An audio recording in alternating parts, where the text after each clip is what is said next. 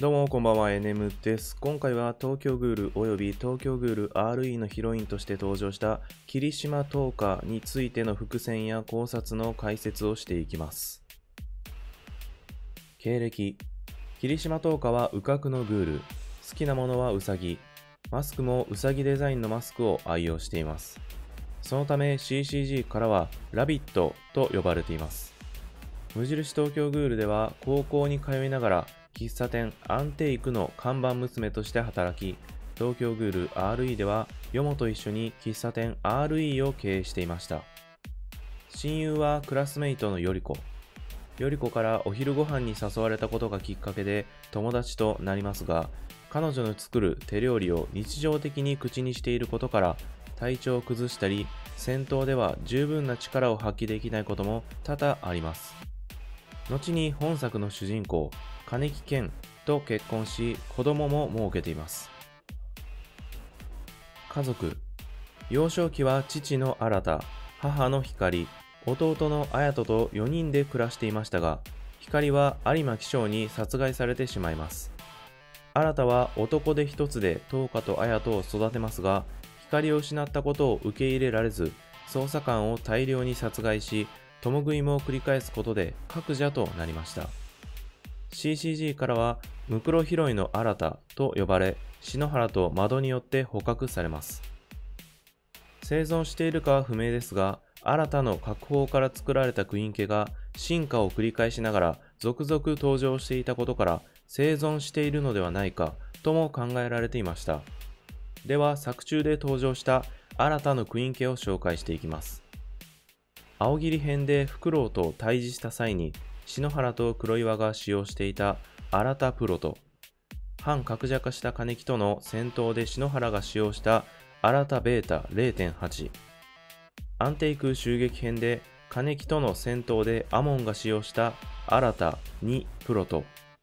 ルシマでクロナとの戦闘で重蔵が使用した新田ジョーカー、ゴートのアジトで金木相手に重蔵と共に戦った半兵衛が使用した新田2以上になります。このように物語を通して新たなクイン家はバージョンアップを繰り返しており、クイン家に必要な確保を採取するために新たは生かされていると考えられていました。ちなみに新たが捕獲された後、東花と綾人を CCG に通報したのは以前より親しくしていた佐藤のおばさんですが滝沢聖堂の遺書にも書いてあった佐藤のおばさんと同一人物であると思われます滝沢の遺書では近所に住んでいた佐藤のおばさんがグールに殺されたとありましたが、これは東花か綾人が復讐のために殺したのではないかと考えられています。婚姻グールの結婚はお互いの体にできるだけ強く、死んでも消えないくらいの紙傷、印を残すこと。東京グール RE131 話で金木と東花は婚姻を行いますが、金木がグールの結婚方法を尋ねた際に、東花はもうやったと発言しています。無印東京グール44話で月山との戦闘の際、東花に本気を出させるため、金木が自分の肉を東花に食べさせ、その際、東花は金木の右肩に噛みついていました。この行為が婚姻にあたります。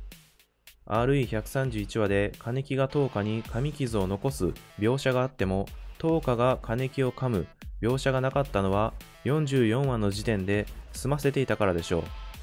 そしてこの月山と戦っている場所が教会であったことから無印初期の時点で金木と東花が結婚する伏線が張られていたと思われます。125話東京グール RE125 話は金木と東花が初めて結ばれるお話でした。この回のタイトルは X タイトルの意味は金木と東花が交わることを指していると考えていいでしょう。無印東京グール4巻。イトリのバーで赤眼のグールについて話すシーンがありますが、その時イトリが人間とグールが交わったらどうなると思うと言いながら両手の人差し指でペケ X のマークを作っています。これが元ネタかと思われます。そして X は小文字の場合にキスを意味しており、手紙の最後に愛情表現として X を連続で並べて書かれたりします。ちなみにアダルトサイトなどではドメインに連続した X がよく用いられています。そして映画のレーティングでは1990年まで X 指定という区分が存在していました。現在でいうところの R18 プラスに該当し、意味は18歳未満の干渉禁止、いわゆる18禁というやつですね。125話は性行為を描写したお話でしたので、この意味も含んでいるかと思われます。ちなみに125話よりも前、122話が掲載されていたヤングジャンプの関東カラーはトウカちゃんでしたが、お腹が真っ赤に染まっていました。後にザッキー RE でスイ先生がお腹に赤が宿るイラストと紹介していることから以前よりトーカが妊娠することは伏線として貼られていたようです。ちなみにこの125はアシスタントも使わずスイ先生たった一人で2週間かけて書き上げたそうです。そのためセリフまで全て手書き。この回だけは誰にも触らせたくなかった。完結後のインタビューで水先生はそう言い残しています。打体説東京グール RE125 話のラスト横たわる金木の背後の模様が数字の19を反転させたような模様になっています。19はタロット数字で太陽を意味し、正位置の場合、成功、誕生、祝福を意味します。しかし今回は反転させた19のため、逆位置と捉えることもできます。逆位置の場合、打体や流産を意味するため、当時は等価が流産してしまうのではないか。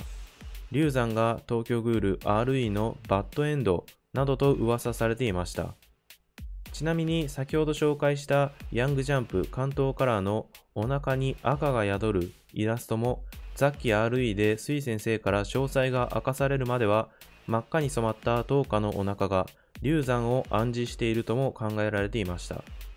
しかし2人の子供は無事生まれてきていますので、このタロット数字19は逆位置ではなく正位置の意味で描かれていたようです。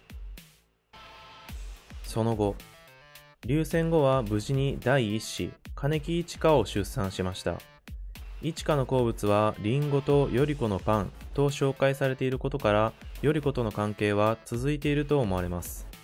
そして6年経った今トウカが2人目の子供を妊娠している様子が描かれていました。原作者の石田水先生曰く最初が女の子だったんで今度は男の子がいいんじゃないかなとのことです。はいということで今回はトウカちゃんについての解説でした。連載当時噂されていた流産説、ムツキとか結構引っかき回してたんで、かなりヒヤヒヤしながら読んでたのを今でも覚えてます。無印のラストとか、金木が竜やだるまになったりだとか、あるいは何かしらのこうバッドエンドのような形で区切りをつけるんじゃないかと、僕は予想してたんで、トウカちゃんの流産説っていうのは可能性としてかなりあるんじゃないかなと考えてました。水先生も当初は最終話をもう台無しにする予定だったと言ってたんで、えー、もしかしたらいくつかあるバッドエンド説がどれか当たっていたかもしれませんね。ではまた次回の動画でお会いしましょう。お疲れ様でした。